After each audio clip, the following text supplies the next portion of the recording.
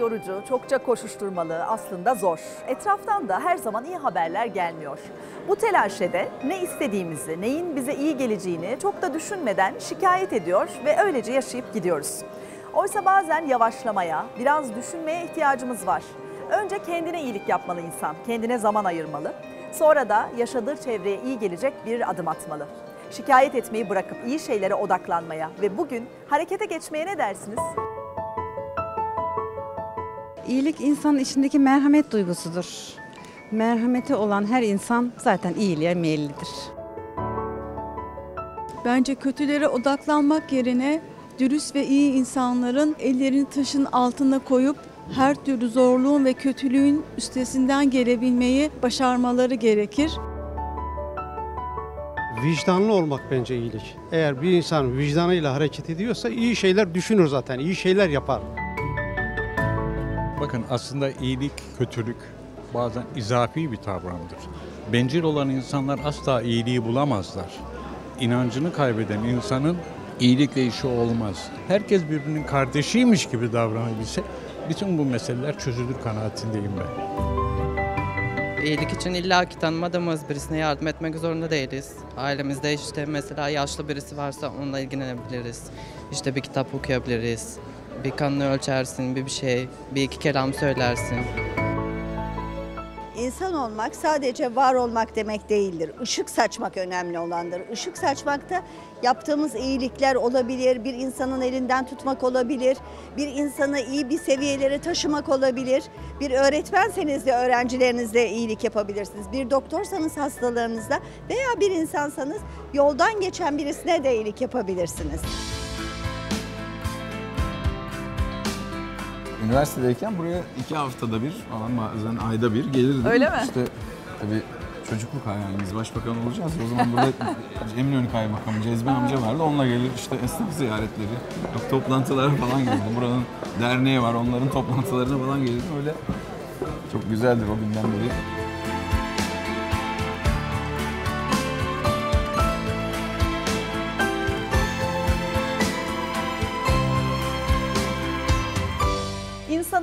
Hayatta aslında neyin gerçekten önemli olduğunu fark edip e, o yönde gidebilmesi, bunu keşfedebilmesi e, çok çok önemli. Bu süreçte bize ilham kaynağı olacak iyi hikayeler yol gösterici olabilir.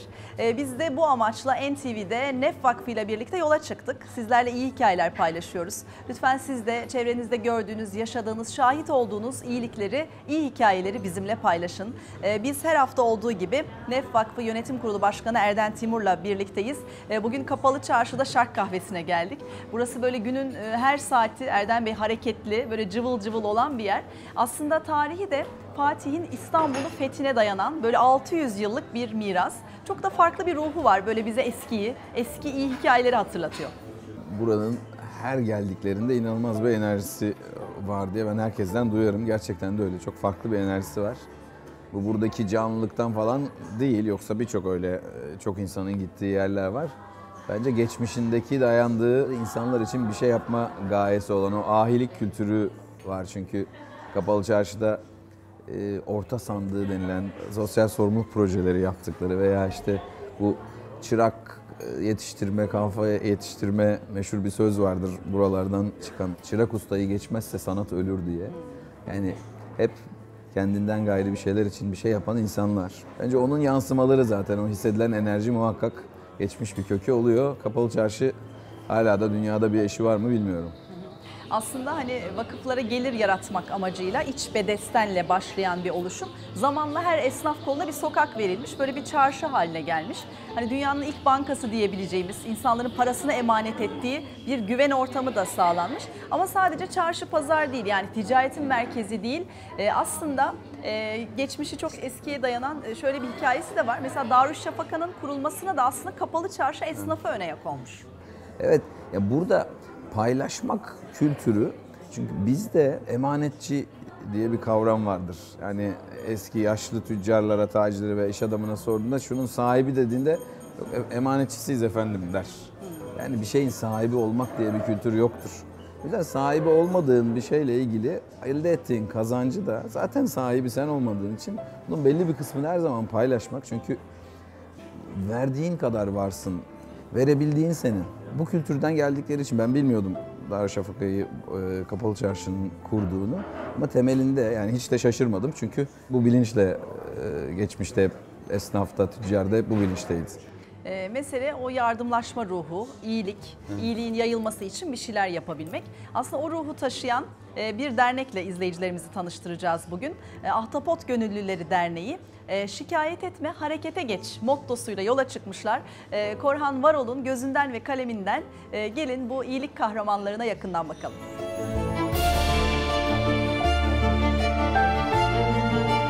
Yıkıyoruz, paklıyoruz, yepyeni yapıyoruz. Herkes elinden geleni yapıyor. Çok e, büyük bir neşe vardı. Bugün burada olmak çok büyük bir keyifti o yüzden benim için. Gülen yüzleri ve güzel enerjileriyle birlikte çalışıyor, mükemmel iş çıkartıyorlar. Kimi zaman kostümlerini giyip koşu etkinliklerinde yardım topluyorlar. Kimi zaman da çamaşır yıkayıp ütü yapıyorlar. Bir buhar alalım. Bir buhar alalım lütfen. Onlar ahtapot gönüllüleri. İhtiyacı olan arkadaşlarımla paylaşmak istiyorum. Kitap, oyuncak, kıyafet, ayakkabı, bütün bu saydığım malzemeleri ikinci el veya kullanılabilir durumdakileri bağış olarak kabul ediyoruz. Her şeyin başladığı yer burası. Ayrılan kıyafetler burada yıkanıyor. Burada istasyonlarımız var. Oyuncak temizleme istasyonu, kitap ayıklama istasyonu, kıyafet ütüleme yıkama istasyonu, ayakkabı temizlik istasyonu gibi gelen gönüllüler bu istasyonlarda çalışıyorlar. Evet son ütücü Mahir. Evet buhar alalım. Buhar. Ahtapot Gönüllüleri Derneği 2017 yılında kuruldu. Henüz 2 yaşında genç bir dernek olsalar da kuruldukları günden bu yana birçok projeye imza attılar. Bugün Ahtapot Gönülleri Derneği ile birlikte malzeme değerlendirme merkezine getirilen kıyafetleri yıkadık. Dernek çatısı altında malzeme değerlendirme merkezi kurdular. Gelen yardımlar burada toplanıyor, temizlikleri yapılıyor, ihtiyaç sahiplerine gönderilmeden önce hazır hale getiriliyor. Katlıyoruz ve bedenlerine göre ayırıyoruz. Ve ambalajlanıyor. Bu kadar sokakta yaşayan evsiz vatandaşımıza ayakkabı lazım. Şurada bir kütüphane ihtiyacımız var gibilerinden talepte bulunuyorlar. Onların talebine özel olarak malzemeyi gönüllüler hazırlıyorlar. Kargo ile ihtiyaç sahibinin kapısına kadar ulaştırıyoruz. Bu işlemleri de tamamı gönüllülerden oluşan bir yardım ordusu gerçekleştiriyor. Buradaki arkadaşlar da Okul Üniversitesi öğrencileri. Bize yardım için geldiler. Oyuncakları e, antibakteriyel bezlerle ve buhar makineleriyle temizliyorlar. Kitapları yasaklı yayın listesinden geçirip içinde eksiği, gediği var mıdır, üzeri çizili midir diye kontrol ediyorlar. Kıyafetler acaba sökük müdür, tamirat gerektiriyor mu diye bakıp ayıklıyorlar. Her şey yıkanıyor, temizleniyor, envantere işleniyor. Oyuncak temizledik, paketledik, her şeyi yaptık. Daha yapılacak çok iş var. Dolayısıyla seneye mutlaka sizler de başvurun. E, kendinizi çok daha iyi hissedeceksiniz. Derneğin adını duyurmak, daha fazla kitleye ulaşmak için her yıl İstanbul Maratonu'nda renkli kostümleriyle boy gösteriyorlar. Biz renkli renkli peruklar takalım, renkli tişörtler giyelim. Bir de ahtapotun 8 tane bacağı vardır ya böyle 8 bacaklı etekler yaptık kendimize. Tabii şimdi köprünün üzerinde 150 kişi peruklu ve böyle 8 tane bacağı olan bir etekle yürüyünce herkes dönüp dönüp bize bakmaya başladı. Böylece hem kendilerini tanıtıyor hem enerjileriyle izleyenleri gülümsetiyorlar. Bu etkinlikler sayesinde de ulaştıkları gönüllü sayısı her geçen hafta daha da artıyor. Ayakkabı istiyorum. Kadın erkek. Bakalım. Bakalım neymiş? Bakalım Ayak- neymiş? Ayakkabı kadın. Hemen. Derneğin kurucularından Vedat Kürşün, rakamların diliyle ahtapot gönüllülerinin yaptığı işleri anlatıyor. 2019 yılında 57 tane kurumla işbirliği yaptık. 3200 civarı gönüllü geldi bizzat bizim orada çalıştı. Toplamda 140'tan fazla kurumun 2500 kadar ihtiyaç sahibine malzeme gönderdik. Toplam yolladığımız malzeme sayısı 65 binin üzerinde. Ahtapot gönüllülerinin ihtiyaç sahiplerine eşya göndermek dışında başka faaliyetleri de var. Yılda bir kere büyük köpek kulübesi yapım etkinliğimiz var. Engellileri tarih gezisi yapıyoruz.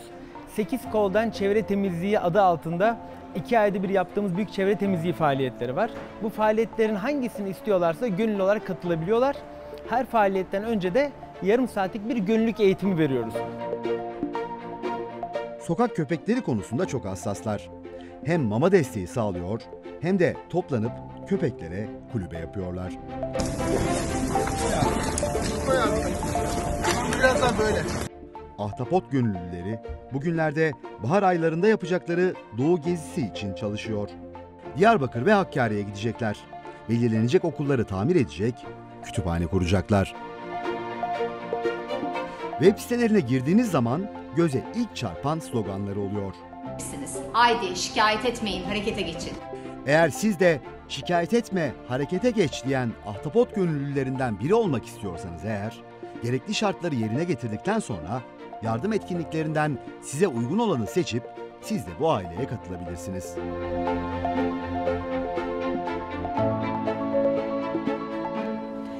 Evet şikayet etme harekete geç. Aslında ne kadar böyle söylemesi kolay, e, kafiyeli, uyumlu bir söz. E, Birçoğumuz da söylüyoruz bunu ama yapmaya gelince biraz zorlanıyor muyuz sanki? E zorlanıyoruz tabii yani kötü şeyler biraz daha insanı hızlıca çevreliyor. Aslında uygulaması da çok kolay. Yani hayattan şikayeti kaldırmak bir karar sonuçta tamamen bir irade. Yine geçmişten örnek vereceğim şikayet orucu diye. Yani sadece oruç yememe orucu diye değil.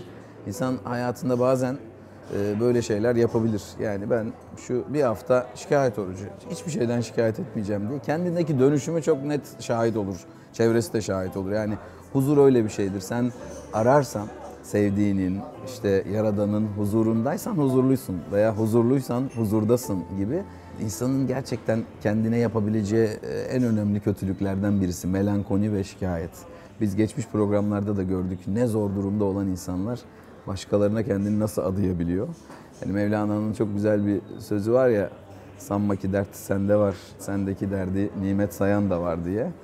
Zihnimizden şikayeti atmak bir kararlılık. Burada da gördüğümüz gibi ahtapot gönüllülerinde e, şikayeti adın, atınca yükü atıyorsun.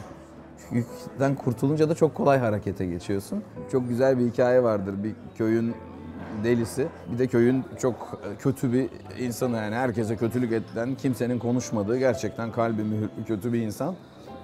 Yıllarca insanlara kötülük etmiş, işte artık yaşlanmış, böyle köyün ortasından geçen dereden karşıdan karşıya geçecek. Bu deli de onu sırtlamış, karşıya geçirmiş tabii. Sırtlayınca köy halkı sen nasıl adamsın, bu adam sırtlanır mı, şöyle şöyle diye sistem etmişler, kızmışlar.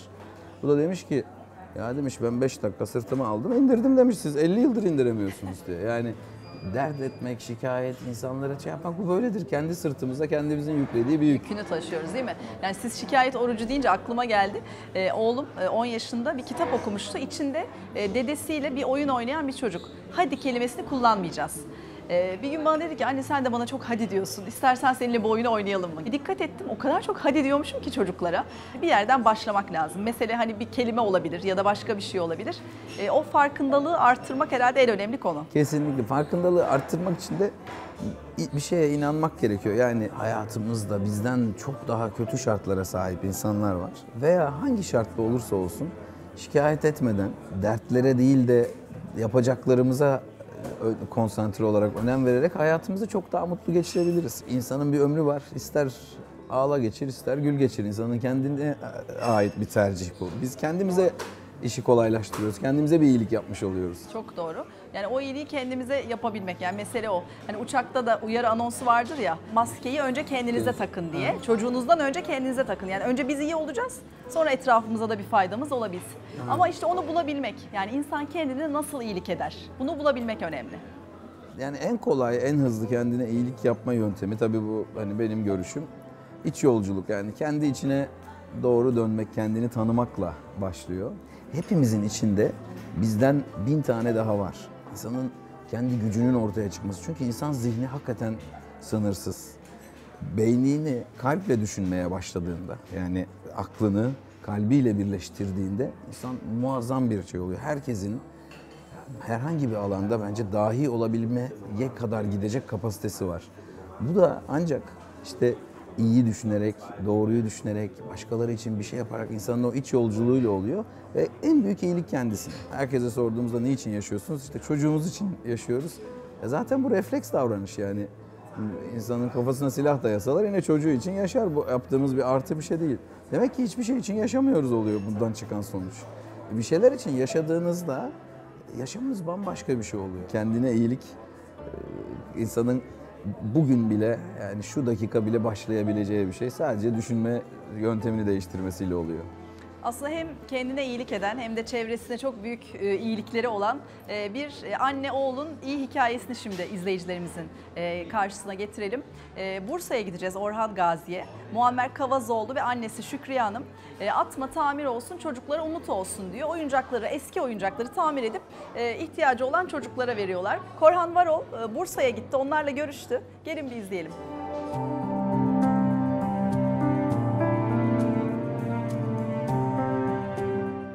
Oyuncak bir ayı, uzaktan kumandalı bir araba ya da bir bez bebek. Bu oyuncakların çocukların hayallerinde bir zamanlar yeri vardı. Ancak aradan zaman geçti.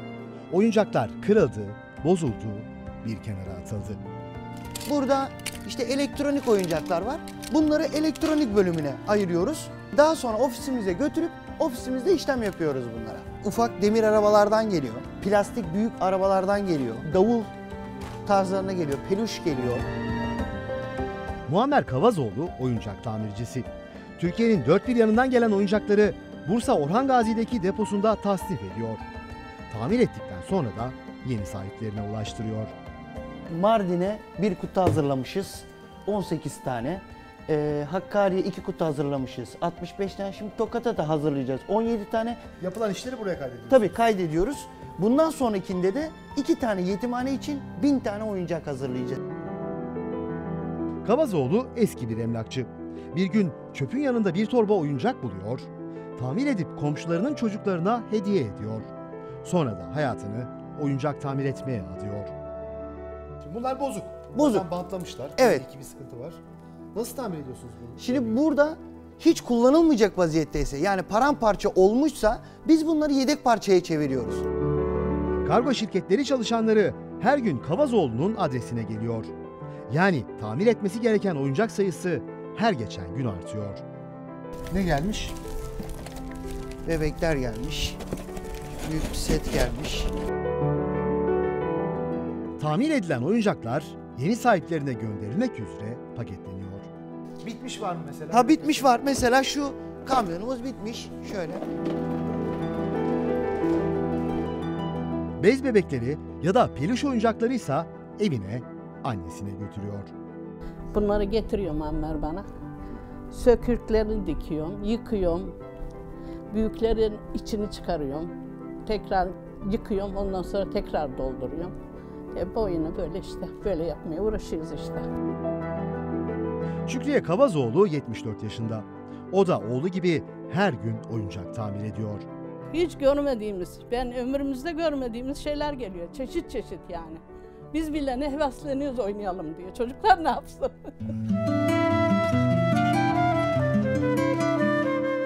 Evin içerisi oyuncak dolu.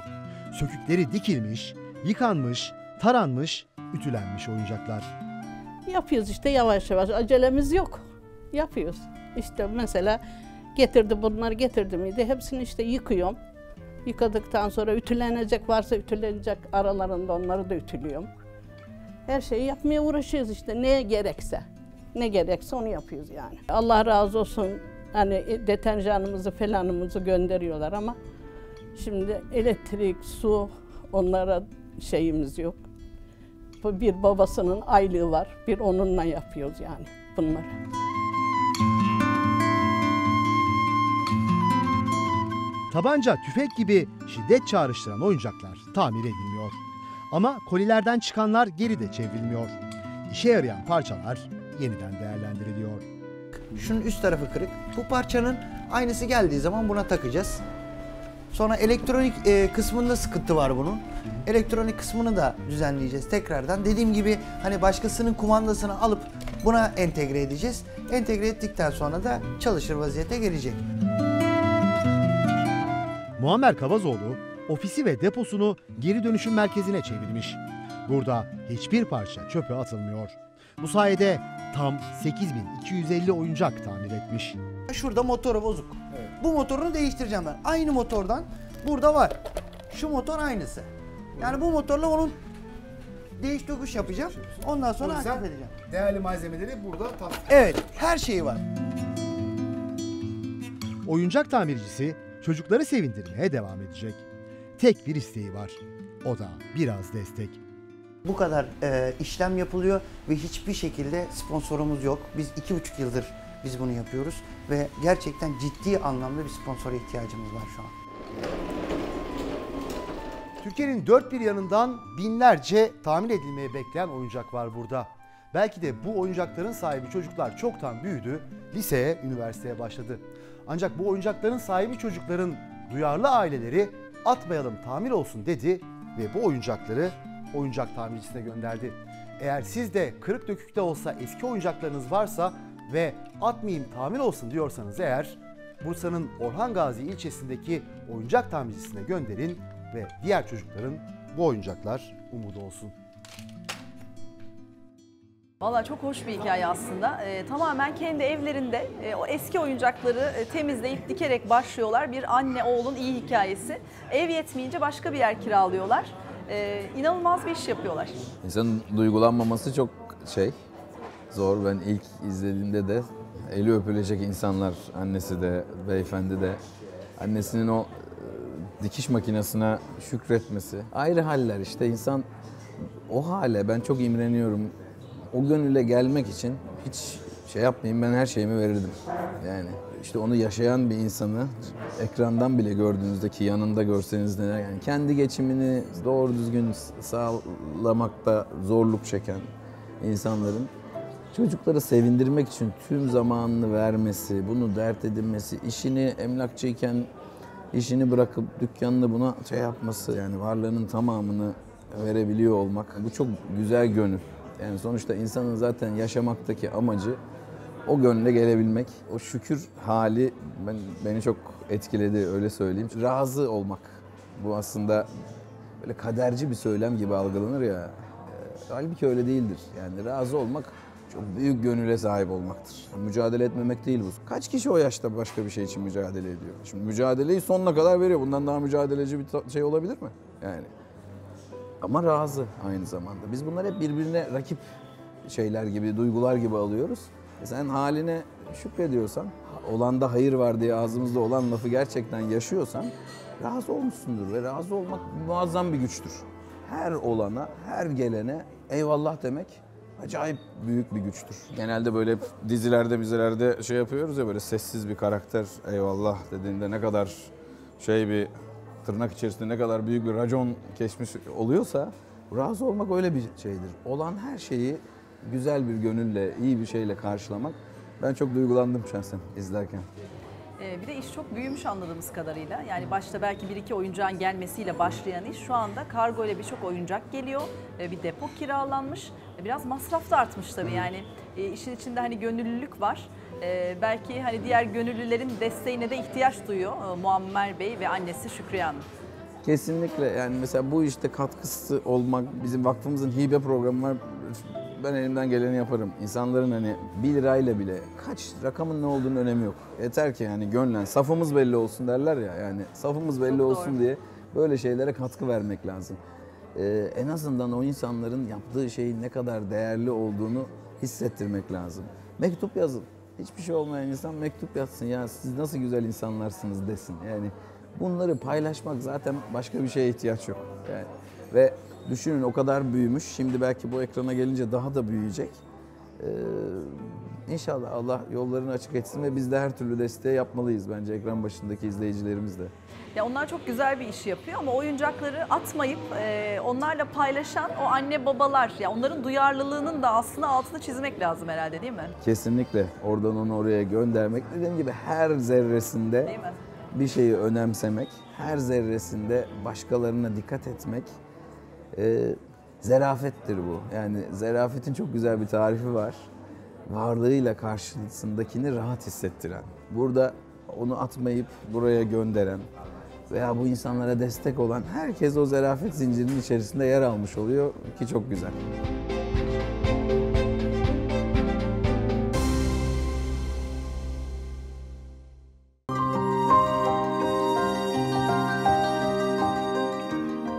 Şimdi neyi beslersek ona dönüşüyoruz diyoruz. Ee, biz şimdi izleyicilerimizi kendilerini iyi haberlerle besleyebilecekleri güzel bir platformla tanıştıralım. Ee, Pozi, gelin birlikte izleyelim. Kurucular diyor ki ilk başta vay be güzel şeyler de oluyormuş. Mutlu gelişmeler de varmış. Her şey ölüm, terör, cinayet değilmiş. Üç arkadaş bir araya geldi, pozitif bir haber sitesi kurdu. Pozi'deki haberleri okurken içiniz kararmıyor, strese girmiyorsunuz. Biz aslında Pozi'nin bir ihtiyaç olduğunu biliyorduk ama bu kadar yoğun rağbet e, göreceğimizi biz de tahmin etmemiştik. Kübra Çelebi, Pozi Operasyon Müdürü. Sistemin nasıl çalıştığını, haberlerin nasıl belirlendiğini anlatıyor. Yarı yardımlı makine öğrenmesi tekniğiyle çalışan bir yapay zeka var.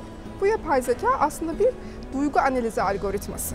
Bu algoritmaya iyi haber ve kötü haber olarak girişini yaptık. Daha sonra algoritma bu kendisini geliştirerek iyi haber nedir, kötü haber nedir bunu belirledi. Pozi kısa süre içerisinde çok sevildi, çok tıklandı.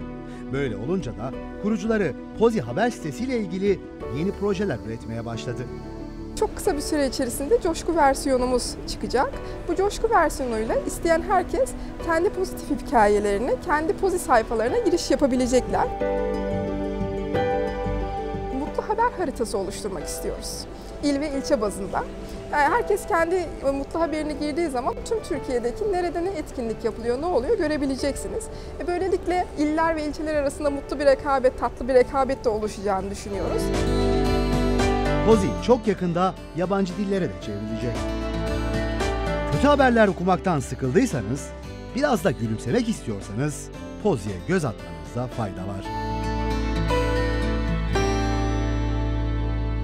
E, Kübra Hanım orada VTR'nin başında söylüyor. Vay be ne güzel şeyler de oluyormuş diye en çok tepki aldık diyor. Hani benim bu programla ilgili de en çok aldığım tepki o. Yani ne kadar iyi şey oluyormuş da haberimiz yokmuş diyor herkes. Ama orada şöyle bir ayrım da var herhalde değil mi Erdem Bey? Yani hani bir- birçok kötü şey de oluyor, olumsuzluklar da var. Yani bunları yok saydığımız, görmezden geldiğimiz anlamına gelmiyor. Sadece iyi şeyleri beslemeye çalışıyoruz. İyiyi ön plana çıkarmak gerçekçi olmamak değil. Kaygılar bizi hep kötüleri konuşturur. Duyarlı olmak sadece bunların farkında olmak. Yoksa birçok işte çocuk istismarı, kadınlara olan şiddet bu konuda birçoğumuz zaten duyarlıyız. Ama bunun bu kadar fazla tekrar edilmesi artık duyarlılığı artırmak değil. Aslında hep sürekli önümüze kötünün konması. Kaygı davranışı insanları daha ürkek kılıyor maalesef. Her şeye olumlu bakmak, iyi bakmak aslında gerçekçiliğin ta kendisidir. Daha açık gönüllü olmak. Ben çocukluğumdan beri hep annemden şey duyarım. İşte bu kadar herkese güvenme, işte e, zarar görürsün, üzülürsün diye. Evet güvendiniz, zarar gördünüz ama o size bir katkı olarak düşünürseniz Bir şey öğretiyor bir şey öğretiyor. Dolayısıyla daha cesur davranmak. Ben şey diyorum, asıl aslanlar sofrasıdır iyileri, hep iyiye yönelmek. Çünkü kaygılarınız az olduğu için sürekli iyileri konuşursunuz. Bir de birbirimize olan vazifemiz o zaten. Biz kendi çocuğumuza, kendi ana babamıza sürekli kötü şeyler mi yansıtıyoruz? Bir kere onlara da yansıtıyorsak zaten hızlıca değiştirmemiz lazım ama genelde yansıtmıyoruz. Çevremize de olan vazifemiz iyi şeyleri yansıtmak. 50 yıl öncesine göre bu kadar fazla kötülükler artmadı. Hatta dünyada bazı araştırmalar hani belli konuların çok daha iyiye gittiğini düşünüyor ama çok daha fazla kötüyü konuşuyoruz. Dizilerimizden hayatımıza giren her şeye kadar iyiliği ön plana çıkarmak, iyi şeyleri ön plana çıkarmak bir kere dediğim gibi o günkü enerjimizi bile değiştirir. Pozi bunun çok güzel bir uygulaması. Zaten oraya girmeye başladığımızda ne kadar iyi şey olduğunu da fark ediyoruz. Kötü daha kolay satın alınıyor olabilir ama önemli olan hayatta neyin karşı taraftan satıldığı, alındığı değil, bizim ne olmak istediğimiz, neye dönüşmek istediğimiz. Bu bizim kararlılığımızla alakalı. Bu bile çok büyük bir, bir kendi içinde bir devrim insanı.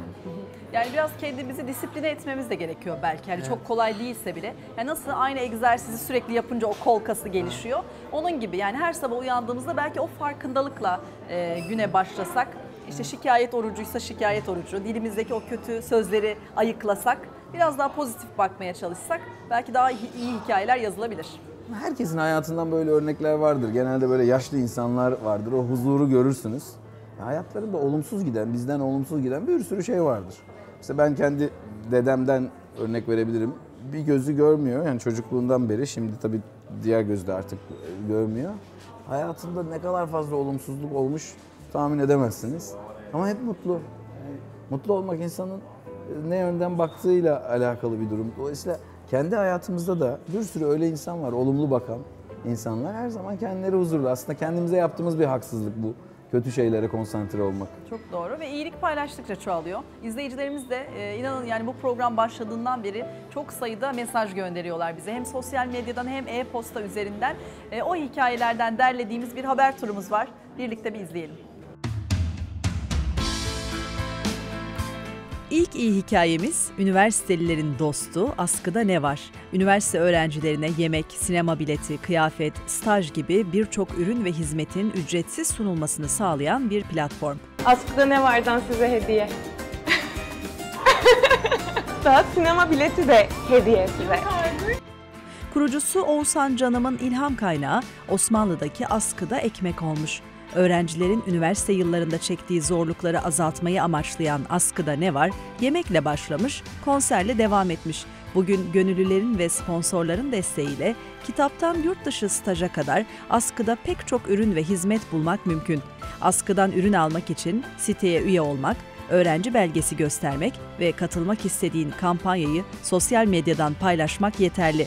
Askıda Ne Var'ın internet sitesinde Samuel Smiles'ın şu sözü dikkat çekiyor. Sevmek fiilinden sonra gelen dünyanın en güzel fiili yardım etmektir. Bunu gönderenlere çok teşekkür ediyoruz. Şimdi de Kahramanmaraş'a gidelim ve sizi köy köy dolaşarak çocuklara kitap dağıtan bir iyilik kahramanıyla tanıştıralım. Ahmet Yerlikaya, 32 yaşında, Kahramanmaraş'ın Türkoğlu ilçesinde yaşayan bir fabrika işçisi. Çocukluk hayali öğretmen olmakmış. Öğretmen olamamış ama çocukların eğitimine destek olmanın bir yolunu bulmuş. Ben okuyamadım, onlar okusun diyen Ahmet Bey, 3 yıl önce gittiği fuardan aldığı kitapları kendi köyündeki çocuklara dağıtmakla başlamış işe. Sosyal medyadan çağrıda bulununca kendi gibi yardımseverler ona destek olmuş. Bugüne kadar 12 bin çocuğun hayatına dokunmayı başarmış. Şimdilerde kurucusu olduğu Kitap ve Çocuk Derneği ile çocukların yüzünü güldürmeye devam ediyor. Köy çocukları için çalışan bir iyilik kahramanı daha. 29 yaşında İzmirli bir kadın Şule Güloğulları bize mesaj attı. İyi hikayelere dair bizim de söyleyecek sözümüz var dedi. Şule Hanım gönüllü işlere hep meraklıymış. İlk kez Van depreminde çocuklara oyuncak toplamış. Sonra yılda bir kez de olsa bu tip yardım işleri yaparak devam etmiş. Etrafında ona yardım etmek isteyen insanların olduğunu ama ne yapacaklarını bilemediklerini fark etmiş. Bu işte öncü olmak için kolları sıvamış. Dünyayı Güzellik Kurtaracak isimli bir sosyal medya hesabı açmış. O artık hiç tanımadığı, görmediği ama yüreğinde hissettiği çocukların yüzlerini güldürmek için çalışıyor. Köy öğretmenleri ona ulaşıp ihtiyaçları bildiriyor. O da gönüllülerin desteğiyle ihtiyaçları temin ediyor. Tek beklentisi ihtiyaç çuvallarını ücretsiz gönderebilmek için kargo ve otobüs şirketlerinin kolaylık sağlaması. Şule Hanım'ın mesajında da söylediği gibi umarız iyilik suya atılan taşın oluşturduğu dalgalar misali yayılır. Gerçekten hem bireysel olarak hem böyle dernek çatısı altında yapılan e, birçok iyilik var. E, Yani biz aslında hani kapalı çarşıdayız şu anda. Hem böyle çok eskiye dayanan bir şey, o yardımlaşma ruhu, eskiden getirdiğimiz bir şey diyoruz ama e, sanki böyle iyilik, yardımlaşma biraz son dönemde de e, daha mı çok arttı? Mesela Ahtapot Gönüllüleri Derneği iki yıllık bir dernek. E, Son dönemde sanki daha çok duyar olduk bu tarz yardım derneklerini. Evet yani iki yıllık bir dernek görüyoruz. Ahtapot Gönülleri binlerce gönüllüye ulaşmış. Sosyal medyanın, dijitalin hani hızlı bilgi çok Onun da hızlı var. e, onun da etkisi var. Entelektüel gelişimi oldukça arttıkça beraberinde manevi gelişim de geliyorsa duyarlılık e, tabii ki artıyor. Adı üstünde yani duymak kökünden geliyor duyarlılık. Bizde şey vardır ya can kulağıyla dinlemek. Aslında hani o kafamızdaki kulakla değil de kalbimizdeki kulakla dinlemek, görmek, işte canıyla bakmak diye bu tabirler. Toplumumuzun mayasında çok var bu. Yani ben sadece bizim toplumumuzda da değil bence dünyada. Her insanın mayasında var. İşte yeter ki ona kulak verip bir an önce harekete geçelim hep birlikte. Yani hayatın hani onca zorluğuna, kötülüğüne rağmen e, birçok olumsuz şey de görüyoruz ama iyi şeyler de oluyor. E, Bir de iyi hikayeleri beslersek daha çok iyiye dönüşüyoruz. Biz bu programı bunun için yapıyoruz. Biz her hafta e, Nef Vakfı Yönetim Kurulu Başkanı Erden Timur'la birlikte olmaya devam edeceğiz. Lütfen siz de yaşadığınız, gördüğünüz iyilikleri bize yazın. E, bize e-posta atabilirsiniz. Bizi Instagram'dan, Twitter'dan takip edebilirsiniz. E, ayrıca belki bugün siz de harekete geçersiniz. Kim bilir belki de o gün bugündür. E, umarız iyi hikayeler hepimize iyilikler getirir.